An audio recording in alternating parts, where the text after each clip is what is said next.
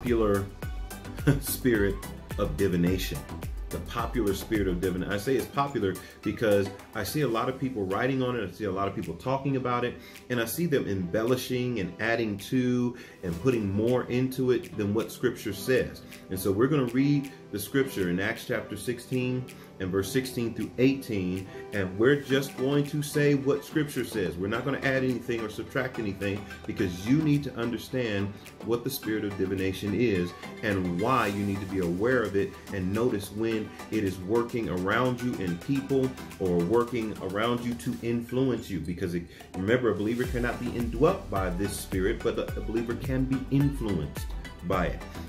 So, Acts chapter 16 and verse 16 Now it had happened as we went to prayer that a certain slave girl possessed with the spirit of divination met us, who brought her masters much profit by fortune telling. Fortune telling.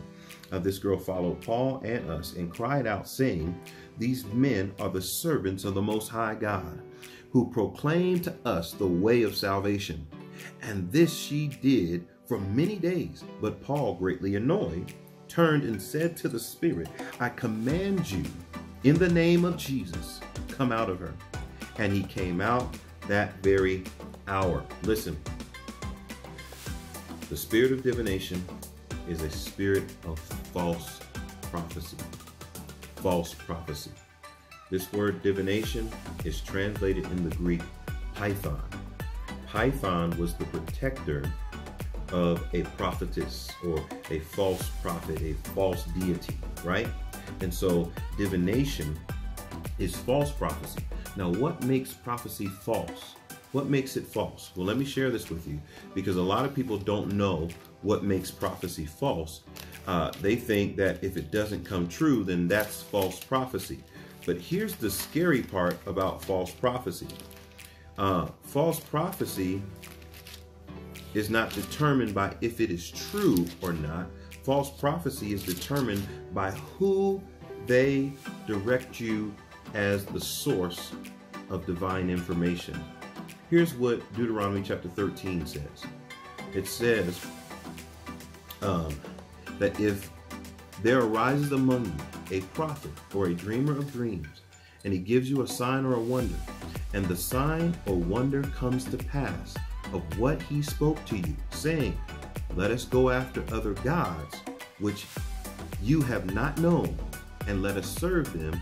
You shall not listen to the words of the prophet or the dreamer of dreams.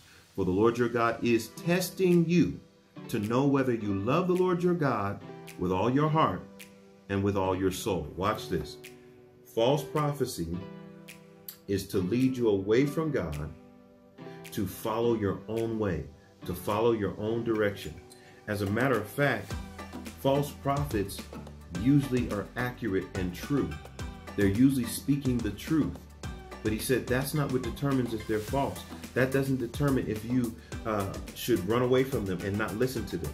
He's telling you not to listen to someone who just told you accurate truth. He said if it comes to pass, but yet they want you to serve other gods, then don't listen to them. He's not saying if it doesn't come to pass.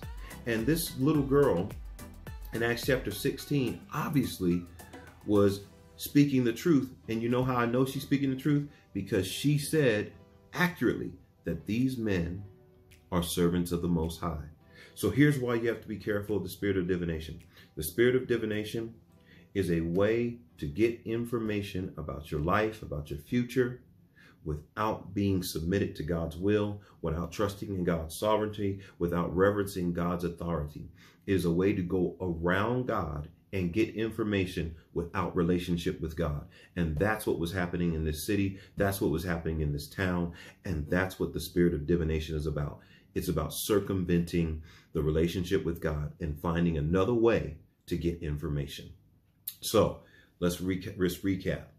Uh, number four is the spirit of fear. Second Timothy chapter 1 and verse 7. Uh, number five is the spirit of error. First John chapter 4 and verse 6. And number six is the spirit of divination. Acts chapter 16, verses 16 through 18. Study these scriptures. Study to show yourself approved. I'll be coming back with another video with another set of three. There's four of these videos. This is the second one. Check out the first one. God bless you. We'll talk to you soon.